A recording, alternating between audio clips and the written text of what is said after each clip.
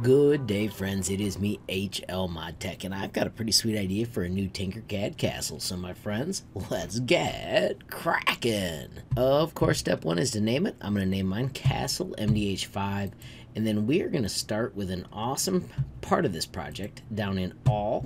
We're going to use the brick wall. When it comes out, it is a large brick wall. I'm going to spin around and look at it from the front. I'm going to instead change it to a single piece of brick wall.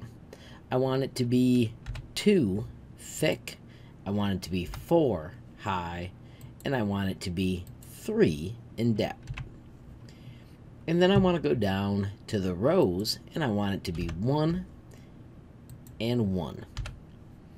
And then click the depth noise, and then click the edge, and let's zoom in and look at what we just built we have got a sweet little single brick. What we're going to do with this is the awesome duplicate and rotate trick so that we get a sweet tower. First change your grid to 0.5, then do Control D and make sure you use the arrow keys to nudge it and then rotate it 22.5 degrees. Nudge it till it gets right to the corner, making sure you do not touch anything else and then do Control D again and again and again to turn that single brick into a sweet tower. Grab all the bricks and press D to drop them to the right height. If you're looking at them closely, these bricks show up a little bit underground when they begin. That fixes it. With them all still selected, do Control D, do Control Up arrow to raise them up, Make sure you're looking at it from the front and notice I'm trying to not click the shapes. So I'm getting them to the height that I think looks cool without clicking anything. I'll look at it from that corner again. And now I'm going to rotate it a few degrees. Notice I have to come out further to get it like that. And now when we do Control D again and again and again, it records that and we can raise it up. And I want to raise it up to a moderate height so that it's not too bulky because if you select this you'll notice we've already made 200 shapes. I'm going to grab this whole thing and move it more towards the middle of my project although I want to make sure I'm looking at it from the front. I'm going to switch to the size 5 grid. I'm going to grab the whole project and I'm going to do control D and with that size 5 nudge I'm going to simply nudge it across until it looks pretty decent. You can see here I've got one, two, three, four and a half centimeters in between it. I like that, so I'm going to grab the whole thing and do Control D. And let's nudge those back so there's about four and a half between it as well. There's one, two, three, and those two together. I'm going to go one more to get my four and a half that's pretty square, so I'm pretty happy. Let me show you how easy it is to make our walls. Once again, we're going to bring out this wall. And then when we drop it in, instead of a width of 50, we're going to try that 45 and see if it fits right to this edge. Wait for it to group. You can see that those do touch really well. So I'm going to use that for every side. Now I only want my wall to come up halfway, so instead of a height of 50, I'm going to do a height of 25 and see what that looks like.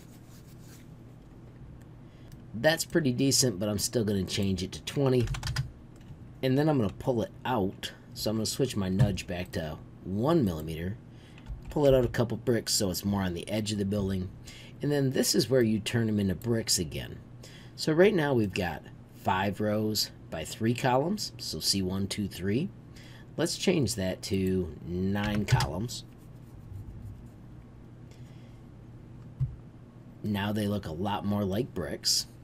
And then instead of 5, I want to change it to 8. So they're closer in size to these, although I don't terribly mind if they're a little more bulky. And then I want the front wall to be less thick, so see this depth? I'm going to make it 5. See how I like that? You do have to wait for it to draw. And I do like those bricks. I think they fit, but don't forget we also have to do D to drop to get them to the right height. Now I want the people to be able to stand behind this, so I'm going to do Control D. And I'm going to use the arrow keys to nudge it back. And the one behind it, I'm only going to make 15 high.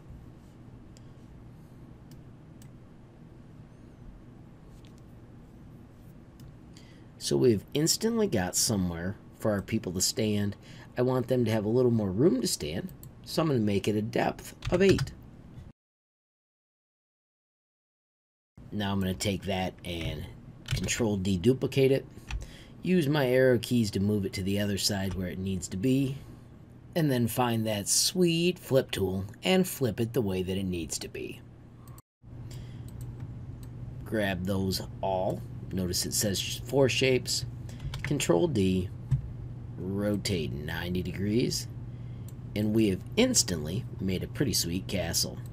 Now notice our measurements are a little bit off. We can fix that by doing two things. One, with our one millimeter nudge, we can just nudge over till it touches, or we could change the size of the numbers. I am going to instead just move the pieces, nudge, nudge, nudge, nudge, do be careful. You can see I missed. So I'm going to grab again, making sure I've got all those parts. And now when I nudge, it's easy to get it where it's supposed to be. So that easily we made a castle. Now let's make a way in to our castle. I'm going to turn around so I'm looking at it from the front. And I want that front corner. And we are going to return to the basic shapes. And I am going to make my entrance with a round roof and a box. So bring out the box, and I have found that the number we need is 10, and I'm going to go 12 high. And then we want to put the work plane on top, and we're going to bring out the round roof, and of course we got to change it to 10 as well. And then to keep it the right arch size, we do 5. And then you can take those two items and line them up I like to set the work plane back to the ground, grab the two of them, click align, click the red one. Notice we already had it this way. We just need to line it up this way. When those two are together, I want you to group them. And then I want you to do Control D, move one to the side, and make the other one a hole. Let's go in between our towers. And if you grab these walls, so notice it says three shapes selected. If you do center and then click on one of the walls, it gives you the exact center where that wall hole needs to be. Make sure it's poking out both sides. You can see mine poking out right there. And when you group it, all of a sudden you've got a sweet entryway, even arched. We're going to take this one and turn it into the door. You can choose the thickness you want. I'm going to choose a thickness of 5. And then I'm going to make it look wooden by putting a wood color on it. I'm going to do that same shift click so I have both of them selected. When I do align, I'm going to say, yo, I care about the bricks, and then poof, my door is in the exact right place. Let's quickly add some metal to our door to make it a little safer, or a little stronger. Bring out a box, hold down shift, and then type the number 1 so it's a nice thin strip. Let's zoom into that little part and change its radius to 2 so it's a little bit rounded and then grab one of the black handles and stretch it out a little bit and then click on your shape and remember our door is 10 across so let's simply type the number 10 right there. Make it black so it looks like it's made out of some sort of metal or iron and then click the door and choose that middle so it's aligned. I'm going to do control up to raise it up and then I'm going to nudge it in so it's part of the door. To make that grid look the way you want do something like 0.5 and that way it pokes out do control up and raise it up and all of a sudden your door looks a lot stronger.